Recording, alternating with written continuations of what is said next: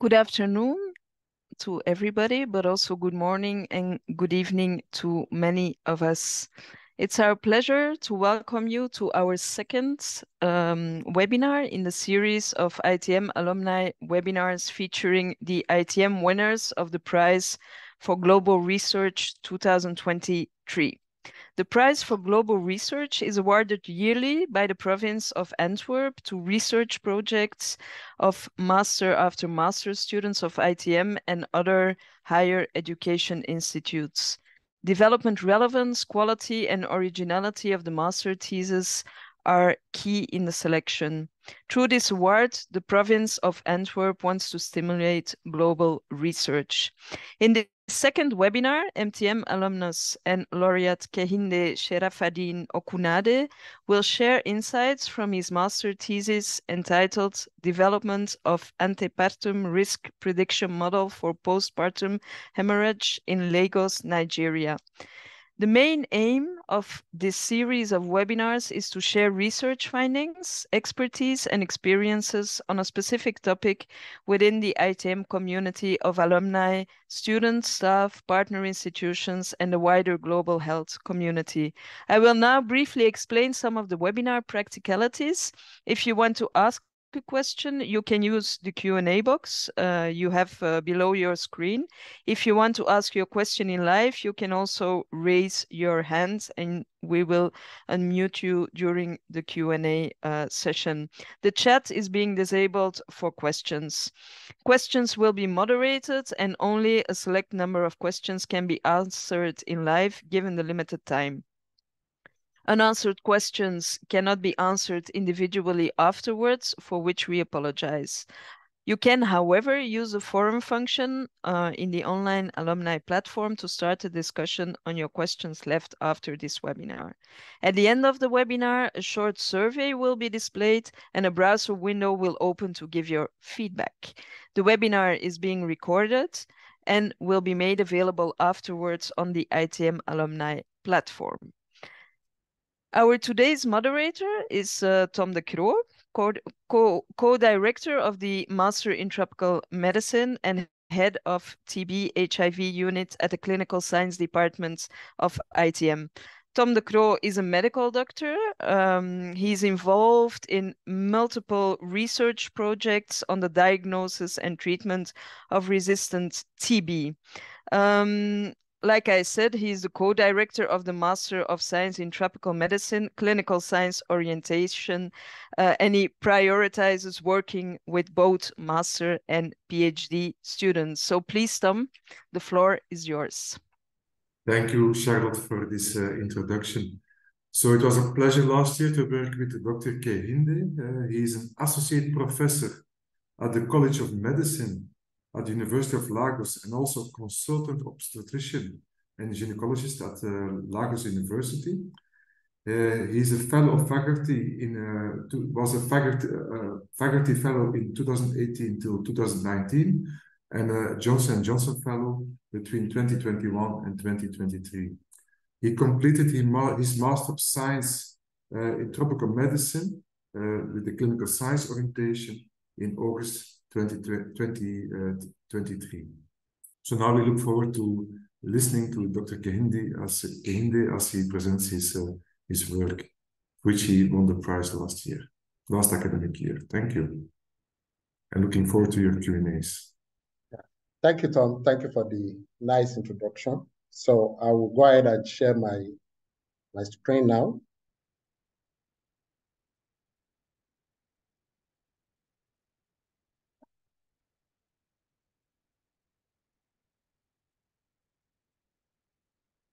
Can we confirm it with, uh, you can see the screen?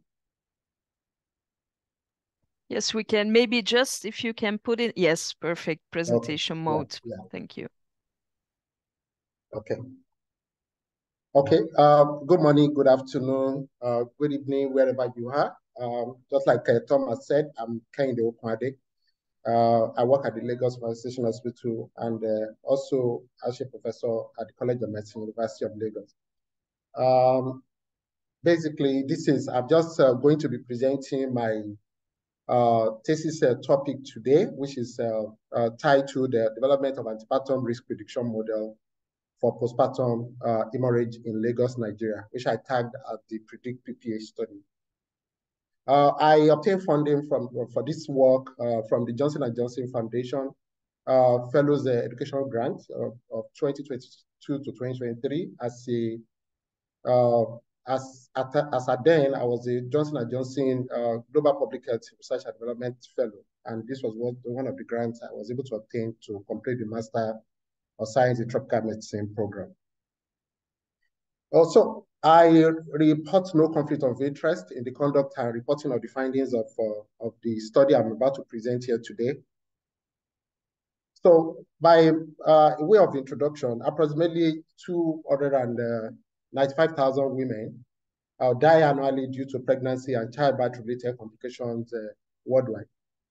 And uh, about 94% of these deaths occur in resource-limited settings, which included um, Sub-Saharan Africa, and of course, Nigeria is one of those uh, countries in, in Sub-Saharan Africa.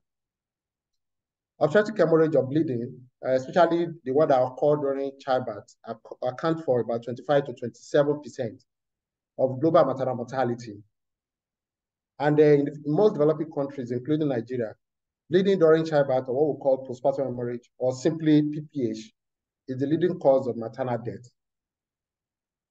So why did we decide to do this study? We know that currently one of the most effective strategies to reduce maternal mortality due to postpartum hemorrhage is to identify women that are at risk of developing this complication at childbirth earlier on in pregnancy. However, there is currently a limited ability to accurately identify women that are at risk before they develop this complication. There have been some few attempts to, de to develop some risk prediction models that combine certain, certain um, clinic, uh, clinical or social demographic factors that have been linked strongly to postpartum hemorrhage. However, these models are performed very poorly in most clinical settings leading to their reduced clinical uh, applicability and use in decision making. So why are these models not very useful currently? It is because these models were developed based on retrospective data. And we all know that retrospective data are characterized by incomplete and missing variables.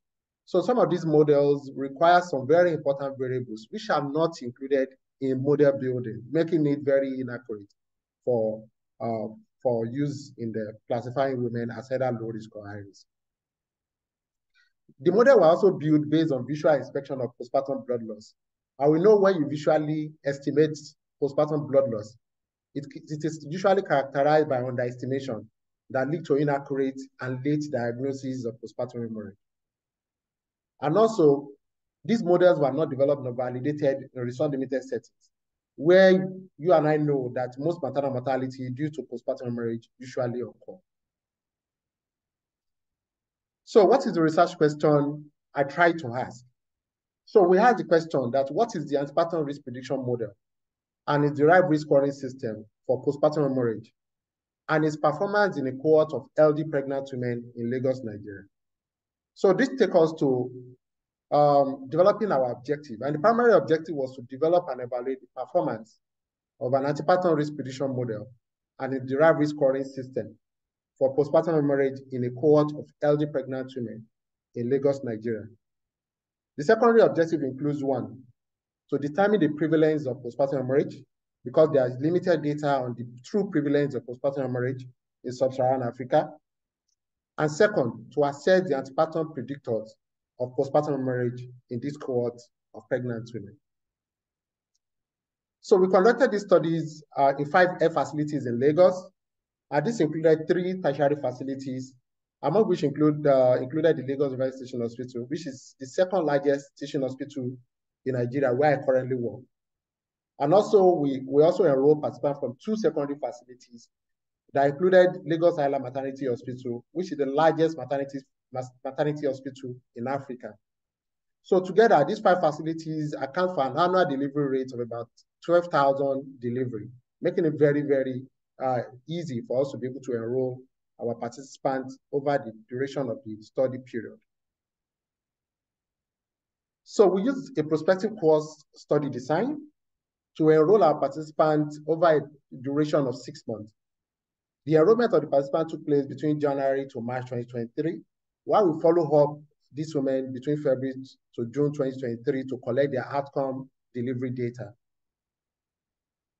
The participants for the study were consecutively consenting LD pregnant women uh, within the reproductive age, which is 15 to 49 years of age, at 28 to 36 weeks of pregnancy, which is about the time that we do birth preparedness and complication readiness counseling in pregnancy. So following enrollment, we follow up these women up to the time of their delivery to collect their delivery data, which included postpartum blood loss uh, during childbirth. We excluded women that have coagulation disorders, those that have sickle cell anemia, those with intrauterine fetal death, and those that were lost to follow up in the uh, in our data analysis. So we calculated our sample size based on the maximum modeling principle as proposed by Peduzzi et al. And this was based on the assumption that uh, we have we are going to input 10 predictor variables in our model, with each of the predictor variable had 10 minimum events occurring at an estimated prevalence of 10.8%, and uh, we got a minimum sample size of now around 26. We also made provision uh, to made assumption for evaluation of our model performance using area under the curve uh, value of 0.7 to obtain a sample size of 250. We made provision for 20% attrition rate based on the largest sample size that we calculated, which is 926, to obtain an overall sample size of 1,158, which is what we intended to enroll, the number of women we intended to enroll into the study. Prior to conducting this, um, uh, this study, we obtained ethical approval from the study site from the Institutional Review Committee of uh, Lagos Teaching Hospital and other uh, facilities that we use in Lagos, and also from the Institute of Tropical Medicine in Antwerp. Uh, we developed a case report uh, form uh, on the REDCap database, which we use to collect our enrollment and delivery data. So the delivery data was actually quantified postpartum blood loss uh, within 24 hours of delivery that we collected with the use of a calibrated blood collection V-drape. The calibration, calibrated blood collection V-drape, which is what is shown in this diagram, allow for a more accurate estimate, uh, more accurate measurement of postpartum blood loss because this is graded, calibrated, and you can actually use it to do a correct, a more uh, precise, accurate measurement of the amount of blood loss uh, during childbirth. This is um, this is also considered to be more, I mean, about four times more accurate than visual estimation of blood loss, which is what was used in previous study. So the operational definition of PPH in our study was postpartum blood loss that is greater than or equal to 500 mils. We perform our statistical analysis using SPSS version 28. Missing data uh, was handled using multiple imputation method. We also uh, computed um, descriptive statistics uh, of relevant data and uh, perform a binary logistic regression to identify the potential predictors of PPH that we included in our model. So this was done by doing a bivariable analysis, followed by a multivariable analysis. Then we also selected some variables that were strongly linked to postpartum hemorrhage uh, ab initio, and this included age of participants, anemia, and of course, prior history of postpartum hemorrhage. So variables that were selected a priori, which included age and age of the participant, anemia, and PPH, and those variables that had p-value of less than 0.1 in our bivariate analysis were included in the final multivariable analysis. So statistical significance was reported at p-value of less than 0.05. After the multivariable analysis, we developed a risk scoring system by dividing each significant variable's regression coefficient by the lowest coefficient in our model to derive the score point for each of the significant variable in the model. So the score point, the sum of the score points was then used to derive the risk score for each participant within the data set of uh, that we use in the study. We also evaluated our model performance by uh, analyzing what we call the, the area under the reciprocal operating characteristics. So we use this to determine the model discriminant power.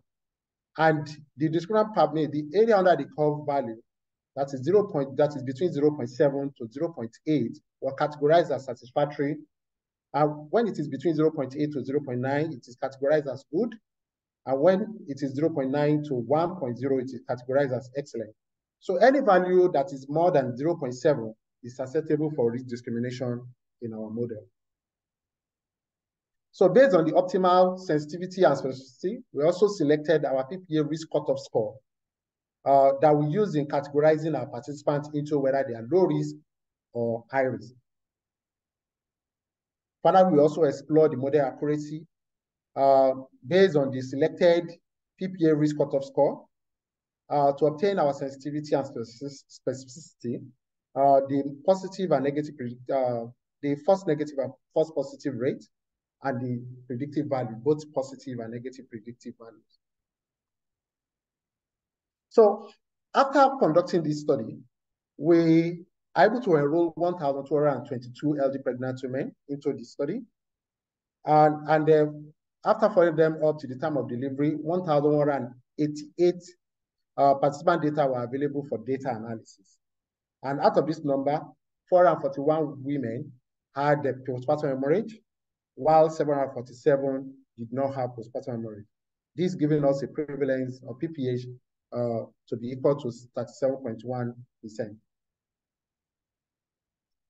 We also computed um, descriptive statistics for all the potential predictors of PPH, which we uh, presented in our univariate uh, table. And uh, more importantly, we look at uh, in this uh, in this presentation. More importantly, I'm going to be looking at uh, some of the uh, the variable that we selected a priority, and this included age of participant. For 23.9% of participants were 35 years and above, while 46.6 had anemia, while only 2.2 had previous history of postpartum hemorrhage. Our multivariable analysis was also able to allow us to be able to identify independent predictors of postpartum hemorrhage, which included obesity, anemia, previous cesarean delivery, and previous postpartum hemorrhage. Obesity at an adjusted odd ratio of 3.3, anemia at 1.4, previous cesarean delivery with an adjusted odd ratio of 4.2, and previous postpartum hemorrhage with an adjusted odd ratio of 2.7. Following this, we developed a PPH risk scoring system using all these four variables. So we allocated a score point for each predictor variable according to its coefficient value in our multivariable multivariate model. So each coefficient was then divided by the lowest coefficient in the model, which is maternal anemia, that has a coefficient of 0.297. So once we use this to divide all the coefficients, we got a value that we rounded up to the nearest integer. So for obesity, we got a score point of four. Anemia gave us a score point of one. Previous cesarean delivery gave us a score point of five while previous postpartum hemorrhage gave us a score point of three. So in total, we have a total score point of 13, maximum that each participant can obtain. Following this, we, we obtain a risk score for each of the participants. And the risk score is obtained by summing up the score points for all the identified predictor variables in each participant. So for instance, if a participant is obese and has anemia, that participant will have a score point of five. That is four plus one. After this, we evaluated the model performance using what we call the receiver operating characteristic analysis uh, by plotting the, the graph of the risk score against the PPH category. And this gave us an area under the curve of 0.7, which is considered to be satisfactory and acceptable for risk discrimination. And based on the, the optimal sensitivity and specificity, we selected our cutoff score to be four. So we also explore our model accuracy based on the selected risk cutoff score of four that we obtained from our receiver operating characteristic curve. And we obtained a sensitivity of 68.9%. The specificity of the model was 69.5%. The false negative rate was 31.1%. The false positive rate was 30.5%. Positive predictive value was 57.1%, and we obtained a negative predictive value of 79.1%. Um, So this study gave us a PPH prevalence of 37.1%, and the figure is higher than the overall global prevalence of PPH, which is currently pegged at 10.8%, according to the meta-analysis conducted by Calvert et al. in 2012, and also the uh, reported prevalence in other previous studies, uh, which are much more higher, I mean, much more lower than the prevalence that we obtained in our study. So we find that because the PPH cutoff score that we use in this study, which is 500 mils of blood loss, uh, we give us the tendency to reduce underestimation of the true prevalence of PPH as we observed in other previous studies, because we felt the PPH prevalence in other previous studies were grossly underestimated. Because the blood loss measurement in our study involved the use of a calibrated blood collection V-drape, rather than visual inspection estimation of blood loss as currently done in previous study. So our measurement gave us a more precise and objective quantification of blood loss.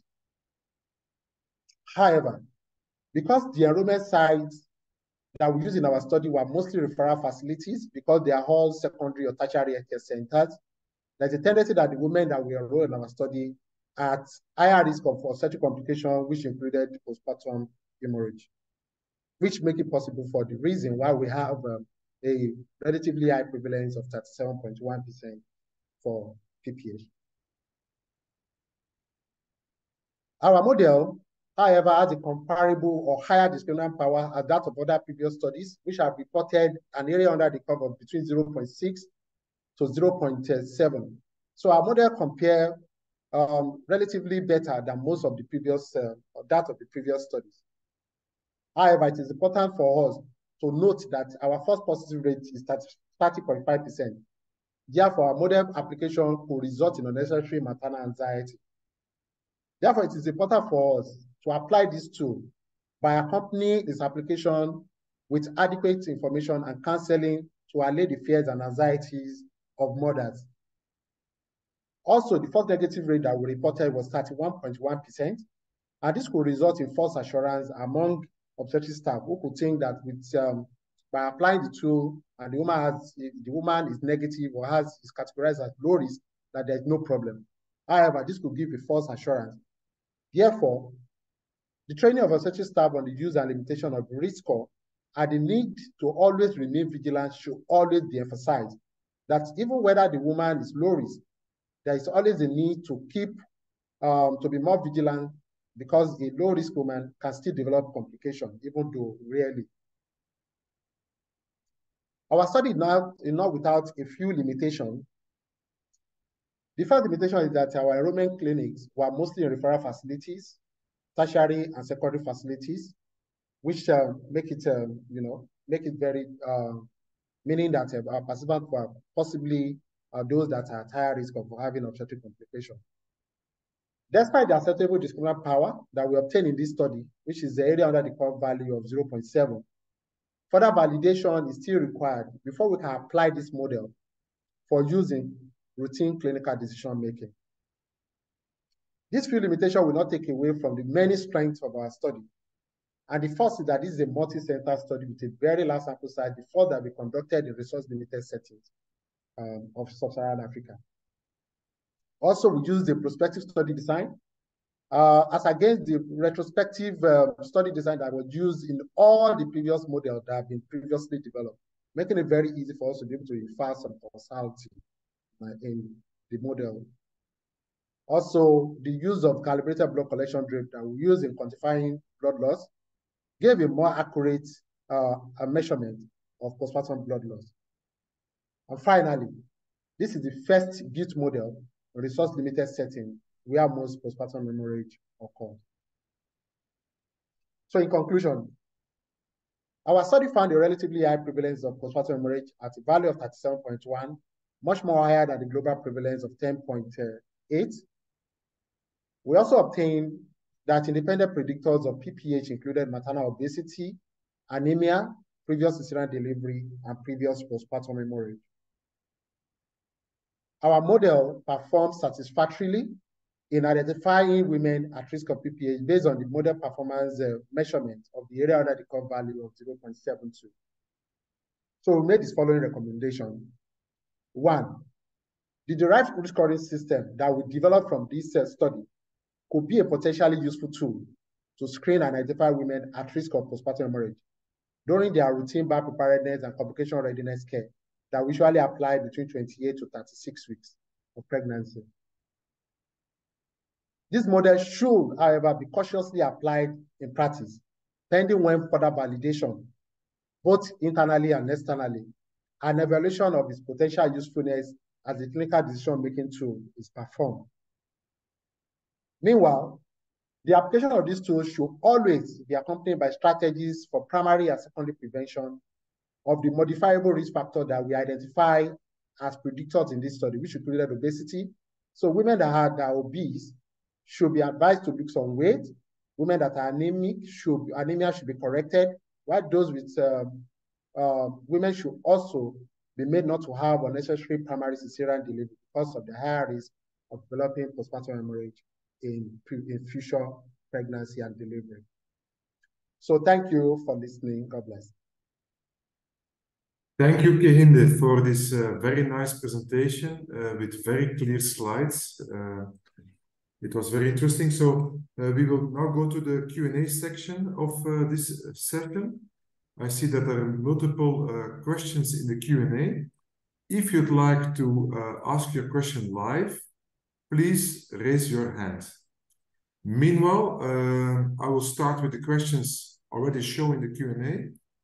And maybe a first question is about the generalizability. How do you think that your findings uh, can be applied to a setting where uh, healthcare attendants are working uh, in a hard to reach facility, I guess with less, where it's more difficult to identify some of the risk factors that you've identified?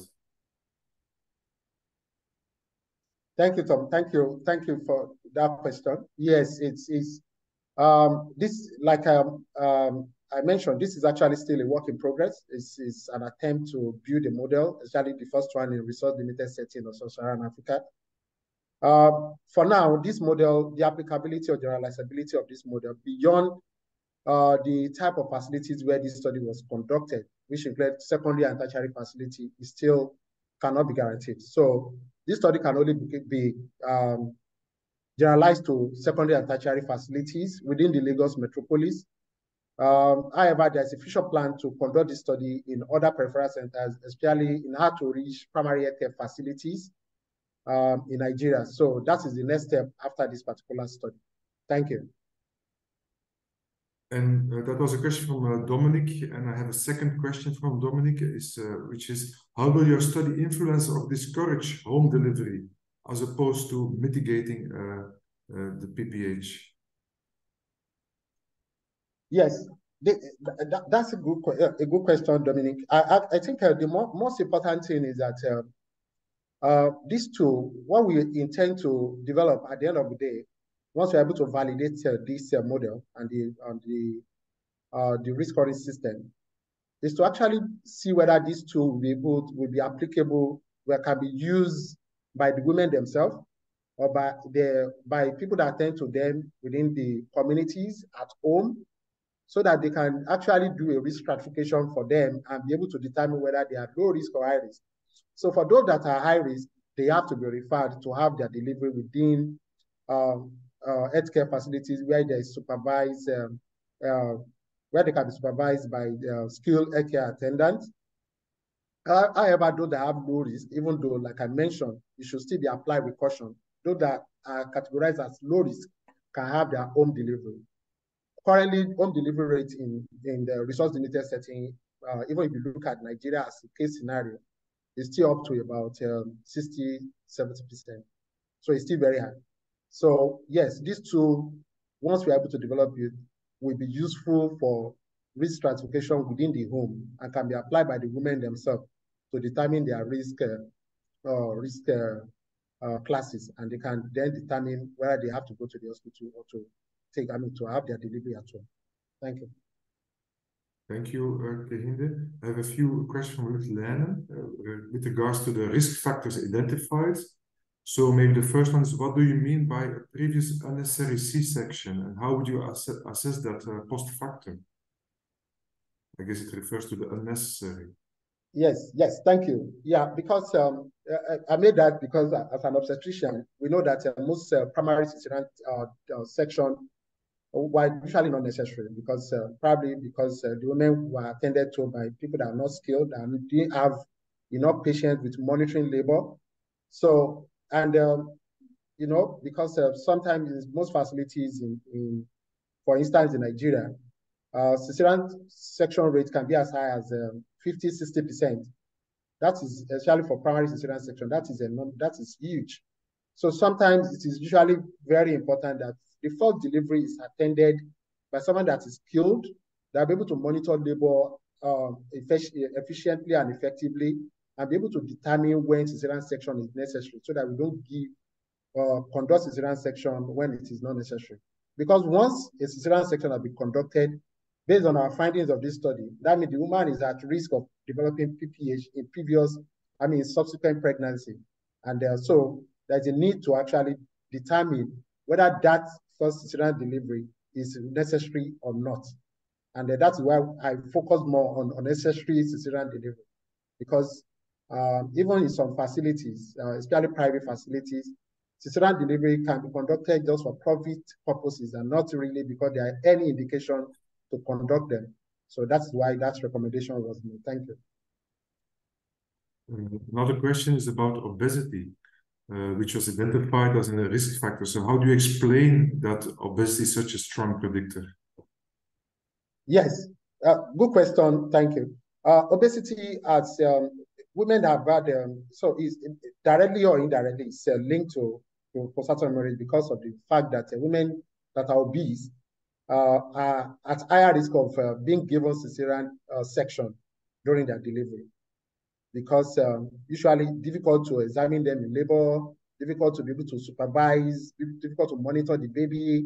So a lot of times, some obstetrician or not obstetrician in this scenario, uh, a lot of uh, birth attendants would tend to want to err on the side of caution by just giving them cesarean section. So compared to people that are less, that are not obese, women that are obese have the tendency to be given cesarean delivery. So making, meaning that uh, if cesarean section is linked to postpartum hemorrhage, that means those that are obese who have higher tendency of having cesarean delivery also have a higher risk of having PPH. And secondly, because of some hormonal imbalances or some, some hormonal alteration that come with being obese, there's also these chances of having disruption of contra uterine contractility. And then because the uterus is not contracting adequately in the second or third, in the third stage of labor, this can result in uterine atony. And uterine atony is known to be the commonest cause of postpartum hemorrhage, especially primary postpartum hemorrhage. Thank you. Thank you. Uh, a question about the endpoint used uh, or how it was measured. So do you think that the cutoff of 500 cc for the V-drape, uh, that it kind of influenced the results of your finding, especially the prevalence and maybe all the predictors identified? Yes, um, the reason why we decided to use a, a, a cutoff value of 500 mils as opposed to 1,000 uh, or one liter that is used by some other studies because of the fact that uh, women in our part of the world actually um, relatively, uh, compared to the high income settings, usually go into labor with a, a state of relative anemia. Uh, usually we have um, an, the average HB, uh, uh, hemoglobin uh, concentration, usually at, at about um, 9.5 gram per deciliter, meaning that most women actually anemic by the time they go into labor. So you don't want to use a higher cutoff value, up to 1,000. By which time you want to wait for 1,000, that woman is already having some hemodynamic instability. So using a relatively lower cutoff value will allow you to be able to institute measure before that woman bleed excessively at a point where you are no longer able to institute any measure to be able to save a life. And that is why we feel that for low income, I mean, for low income setting or for low resource setting, where women are relatively anemic at baseline, you should use, it is better to use the relatively lower cutoff value, which is why we use 500 mils in this particular study. Thank you. And a few questions uh, by Luther about the tool. So how does this V-drape work? Yeah? And uh, how does it affect uh, women wearing clothes? So and how much blood loss is at the end ending up in the drape or compared to maybe the clothes. Can you comment a bit about the practicality of using this uh, V-drape for the measurement of uh, blood loss?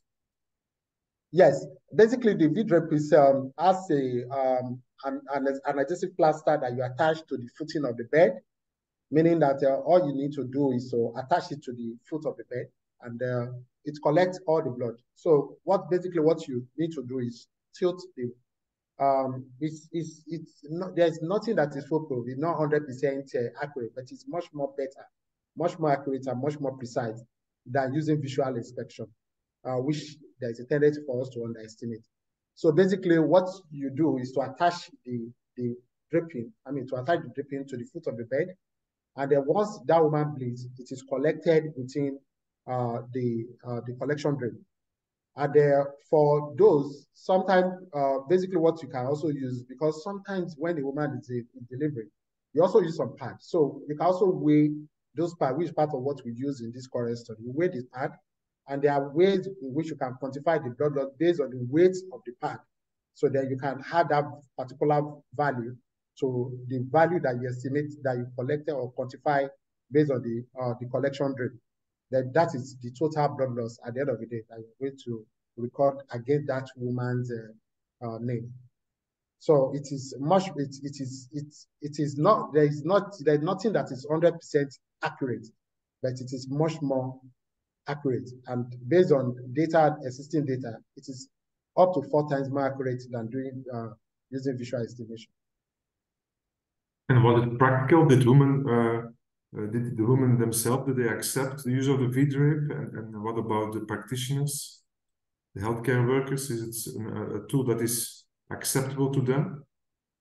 Yes, I, I, I think so. This is actually not the first study that look at uh, the usefulness, even though we did do an implementation study to know whether it's really acceptable. But uh, fortunately for us, um, our women that uh, participated in our study were, didn't have any problem with uh, the use of the drape. Once uh, the only thing is that uh, they have to lie down for that particular period when we are still uh, collecting uh, the the blood loss. So it's we didn't have any woman that complained about its use, even though there's a need at the end of the day, maybe for future study to to actually look at the implementation side of the use, implementation science research side of the use of this collection drape. Then with regards to the sensitivity and specific, specificity shown for, uh, for your, uh, for your uh, score, uh, do you think that the model that you propose, that it could be recommended for, for the things uh, you're working with a high prevalence of, of, of yeah, postpartum hemorrhage and also with a high, this was a question from Blessing Makebu. Yes, yes because of the high prevalence in our setting, that is actually the model is actually very useful. But irrespective of what. Uh, yes, but the sensitivity and specificity were not perfect. Will be missed. Uh, might be detected as uh, being at risk, while in fact they they didn't experience uh, the event. You were still. How, how what do you think uh, about these comments about the not excellent tool? Sorry, I didn't. Sorry, I didn't get that. Tom? Maybe, I, maybe you have to repeat the question. Hi, Tom. You are muted. You are muted, Tom. Do you hear me Tom, now? you are muted. Okay. Yes, I can hear you now. I, I guess it's a connectivity issue. But uh, so the question was about the performance of the tool. Yeah. Do you think that this tool performs good enough for why yes. Yes, the, the model performance really for is is the model performance was based on the area under the curve. We can actually um, look at uh, assessing model performance based on the model accuracy using sensitivity specificity, and of course the um, the predictive values, and also using the area under the curve. So we we we assess the model the model performance really that uh, we base most of the decision on whether this tool is useful or not uh, was on the area under the curve, uh, the ROC analysis, that's the receiver operating characteristics uh, analysis. And with a value of 0.7, we feel that yes, it, it, it has a, a good discriminant power to be able to discriminate between those that have uh, that are high risk and low risk of developing PPH. Just like I reiterated in the discussion, uh, it's it's it's not foolproof. It's not it's not foolproof. There's no tool that is foolproof yet. So this is just a work in progress. So based on the sensitivity that we obtain, because with sensitivity of 69%, we still have some, you know, uh, some false negative uh, and false positive uh, um, uh, value that are in the range of 30%. So it's very important for us to apply this tool very cautiously and not to, you know, think that, uh, oh, that everything is in order and not, uh, and still not monitor every woman in labor. But that still gives us an opportunity to be able to say, uh, especially for in our setting where most women deliver at home, to be able to say, yes, you can still deliver at home, but and you, you should not deliver at home. So it is much more useful to be able to detect those that are at high risk and allowing them to deliver than picking those that are lower risk of developing. Thank you, Kehinde. So another question, uh, this time from Rodrigo, related to the performance of your tool. So given that uh, some of the cases will be missed, uh, how could you then prepare the healthcare facilities and the healthcare workers to handle those cases yeah, that cannot be predicted? Yes. So part, uh, part of the recommendation I made is that uh, yes, that uh, even though you apply the tool, the woman is categorized as low risk. That does not mean it should throw away all caution and still not uh, remain vigilant. So there is a need to always remain vigilant, irrespective of whatever the risk uh, classification of the woman is. Uh, but more importantly, the there is no study that is without limitation. So there is still a need for us to be able to validate this study and I mean this particular model and see whether it's actually whether we can the performance can actually be um, higher if you evaluate the use of this model in another setting.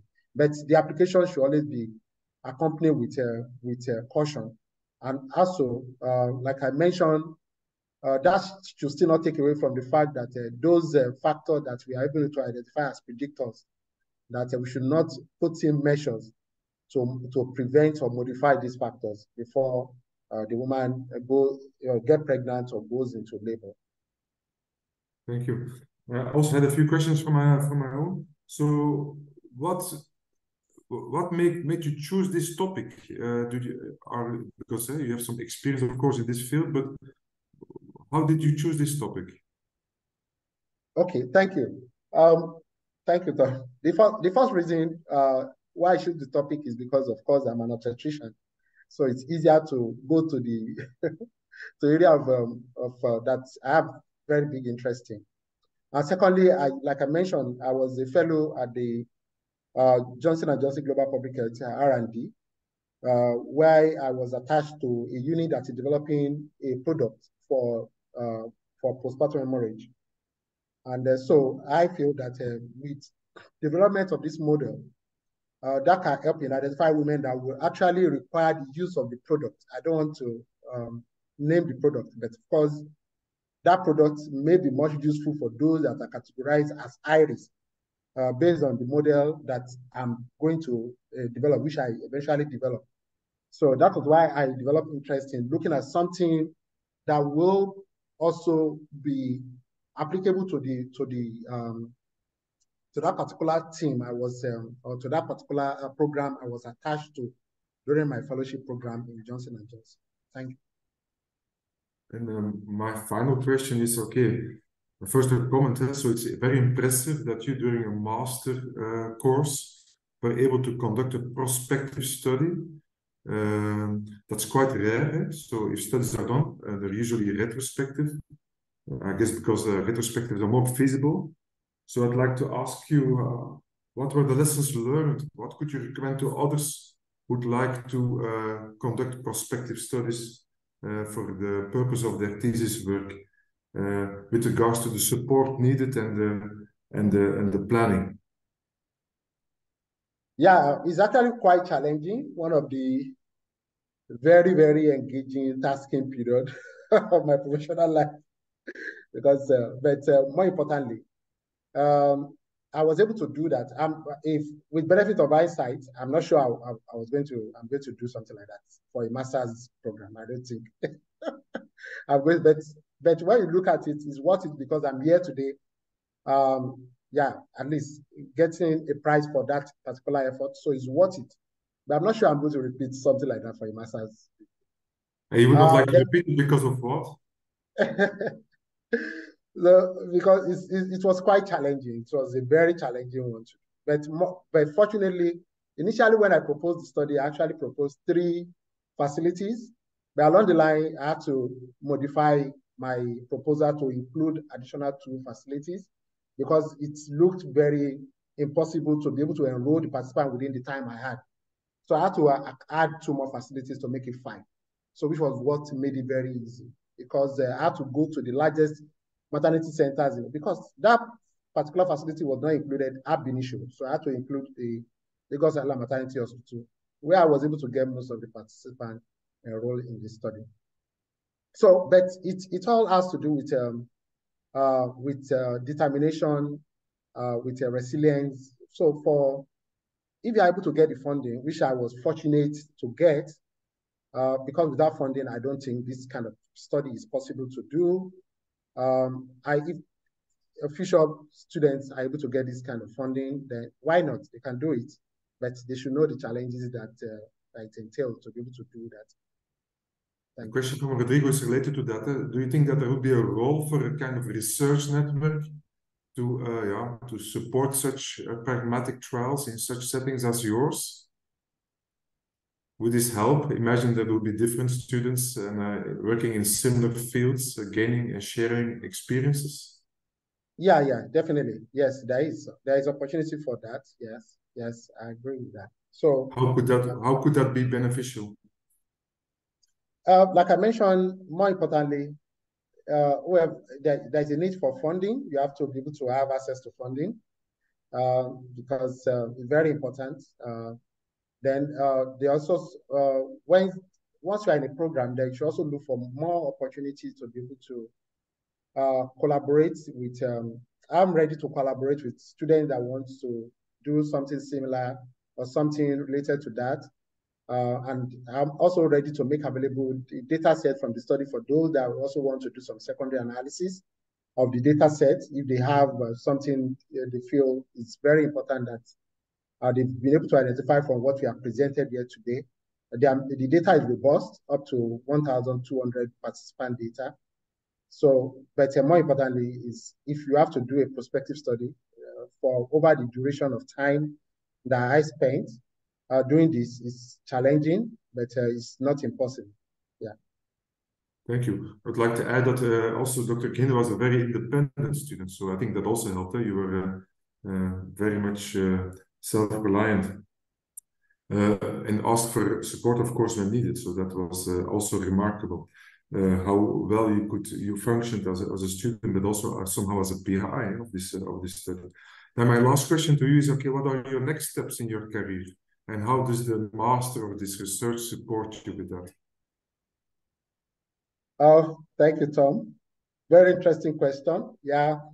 Um, still, the plan is still to, um, I, I'm actually in a professional line. I'm an associate professor, uh, soon to become a full professor uh, next year.